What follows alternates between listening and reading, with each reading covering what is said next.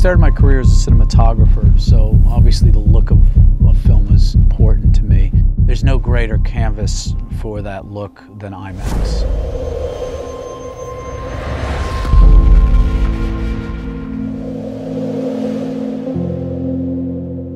I think Transcendence and IMAX are a very good match. IMAX is the one true immersive format. It's not only having the screen fill your peripheral vision, but having the sound jump off 20 or 30 feet from the screen that engulfs you in the experience. Once online, a sentient machine will quickly overcome the limits of biology. While it was a large project for a first-time director, it was too intriguing for me to pass up. Its analytical power will be greater than the collective intelligence of every person in the history of the world. I call it transcendence.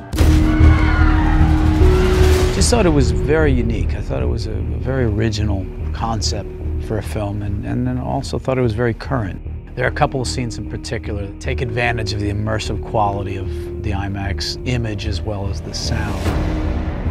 There's one segment where it's a journey through the internet.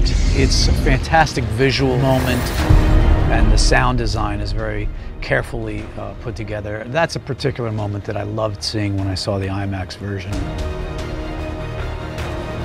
In anything you do, you draw on all your life experience. I worked as a camera operator for Robert Altman and seven films for Christopher Nolan. That becomes what you draw from.